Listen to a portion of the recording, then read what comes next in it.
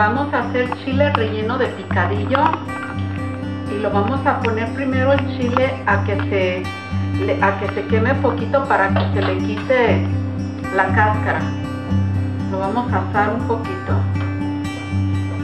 Lo vamos a dejar aquí hasta que reviente para pelarlo. Ya que el chile se está comenzando a poner así oscurito, le vamos a ir dando la vuelta. Dura más o menos como menos de un minuto para que reviente y se ponga todo así escurito y poderlo pelar. Ahora sí, ya el, ya el chile está todo oscurito para pelarlo. Le apagamos y lo ponemos como por un par de segundos en una bolsa de plástico para que haga vapor y se pele con más facilidad. Ahora sí, ya lo sacamos de la bolsa, pero con cuidado de no quemarse. Pueden empezar a pelarlo. Se pela muy fácil para quitar toda la cáscara. Y cuando lo abran a procurar no tocar las semillas porque algunos salen un poquito picosos. Ahora sí ya que tenemos el chile pelado procura, tenemos que procurar que no se rompa. Le vamos a hacer una abierta chiquita aquí en medio. Y con cuidado tenemos que sacar las semillas del chile.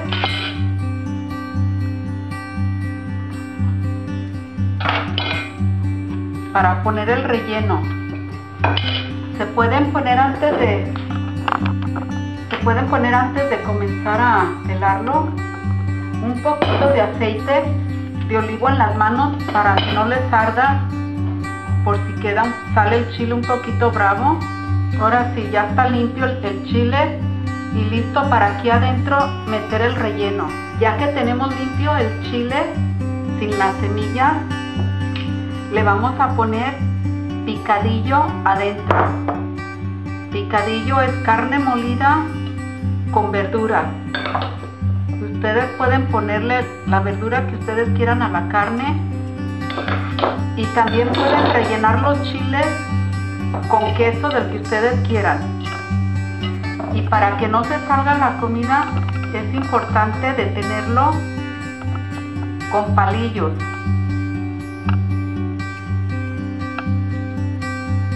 Para evitar que se salga la comida cuando se esté guisando.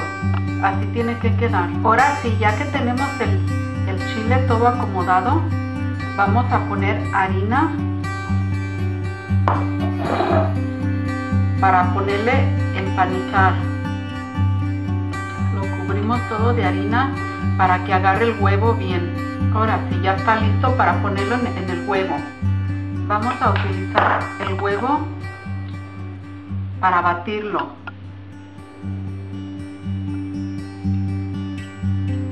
Y separamos la yema. Vamos a batir la clara del huevo si son como cuatro chiles que van a hacer, ocupan dos ah, huevos. Ya que tenemos la clara del, del huevo batida, seguimos batiendo y ponemos la yema.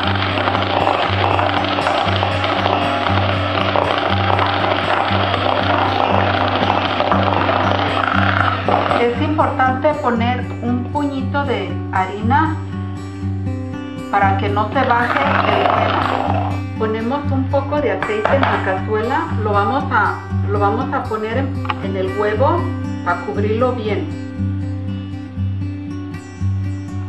Ya que tiene un minuto por un lado, lo vamos a voltear por el otro lado, con cuidado de que no se quite el huevo de su lugar otro minuto por cada lado. Ya que está dorado por el otro lado, le vamos a dar ahora la vuelta así para que se dore todo parejo.